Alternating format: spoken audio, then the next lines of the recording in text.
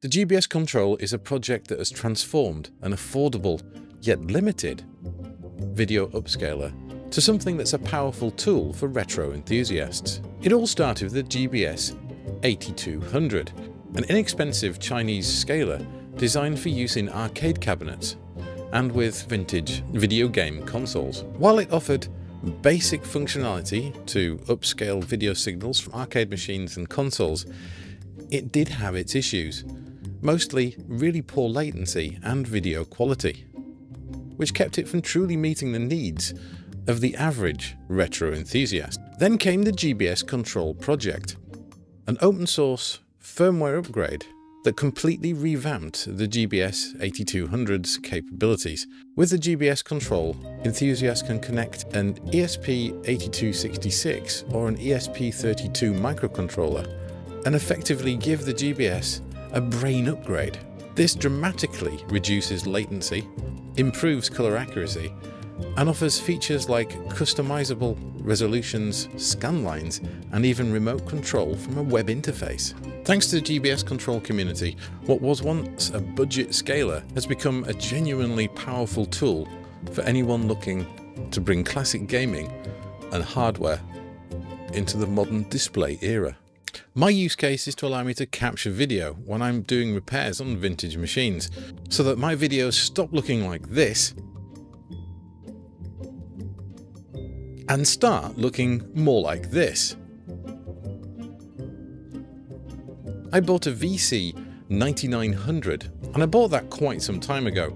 I tried to get it to work with not a lot of success. It then got relegated to the pile of things I'll probably get to doing another time, maybe, and was forgotten about. At this point I knew nothing of GBS control, though this board isn't one that's explicitly listed on the wiki for GBS control, it seemed similar enough to give this a punt. So I basically have most of the things I need kicking about the HBR HQ. The only thing I don't have is the microcontroller, the ESP8266. But I found one of those on eBay for a very, very reasonable £3, including shipping, which seems somewhat cheap, but it turned up and apart from the damage in shipping, it looks absolutely fine. Bending these pins back shouldn't really cause me any big problem. Sponsors of this video are PCBWay. They provide PCB prototype fabrication from as little as $5. They also have a huge library of shared projects. And if you're not confident with a soldering iron, you can even get them to assemble them for you. PCBWay also have CNC machining and 3D printing services. All of this is available at PCBWay.com. Thanks PCBWay for sponsoring this video. The first thing in the instructions um, links in the description, on the GBS Control Wiki is to remove and bypass the three pots on the RGB input. I'm definitely going to be taking a less destructive approach than is depicted in the wiki because I've got the tools and I can. So Mugun at the ready, we can remove these pots quite simply and replace them with simple links.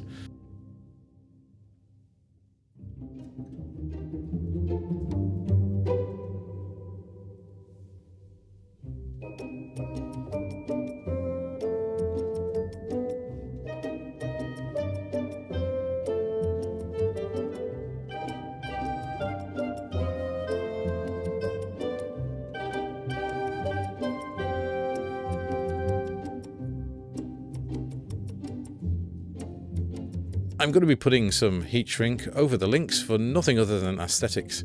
I suppose it makes them a bit more obvious that I've put something there, but really there's no value added, it just looks nicer in my opinion.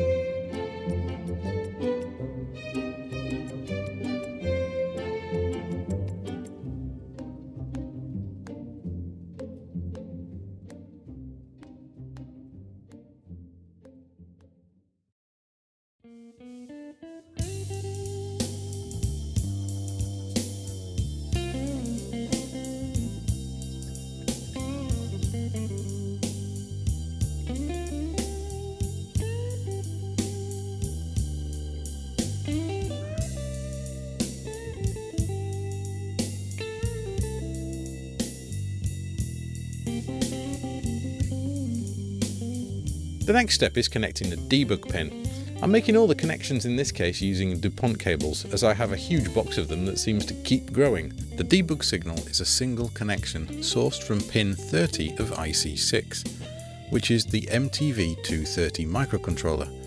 This chip, originally designed for embedded applications in LCD screens, serves as the stock brains of the GBS upscaler.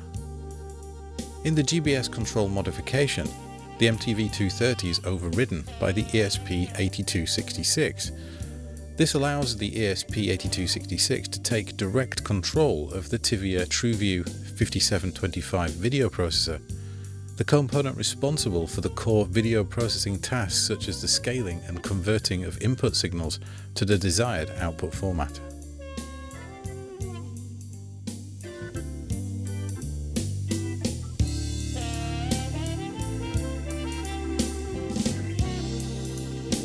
And as I have the correct connectors for these, I'm just going to make some cables up with some more DuPont cables. And this should make it very easy to connect this to the ESP8266.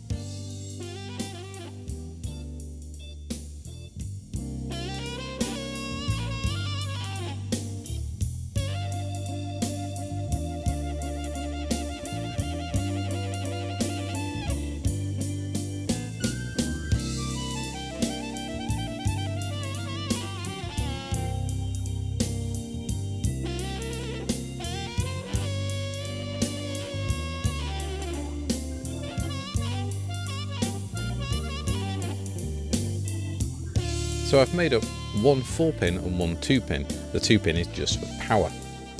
I can now hook these up to the Node MCU ESP8266 using the instructions and diagram provided in the GBS control wiki.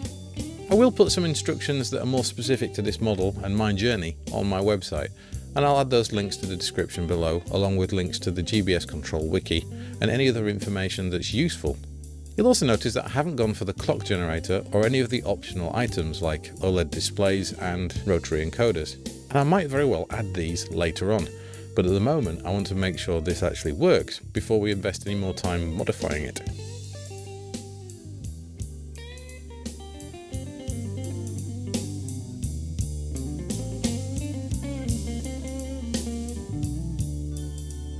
Installing the software, just follow the instructions. If you read them carefully, do lead you to the right result. These initial tests are connected to my A500, and I'm just cycling through the ROMs that I've got on my ROM switcher, including DiagROM, which gives us something quite pretty to look at.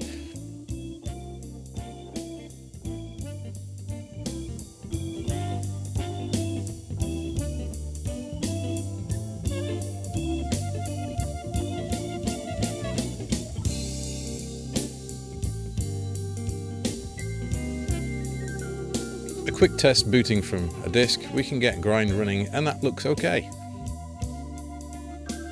The only problem is that this is two devices loosely held together by some bits of wire and it's not very usable. So I need to mount these on something. My plan is to create a single board that I can mount these to. I'm going to make that out of the plastic I have left over from the A2000 under tray, which is now surplus to requirements seeing as it was too thick. I'm basically going to mark out what I'm going to cut and where I'm going to drill and then I'm going to attach these two boards to it.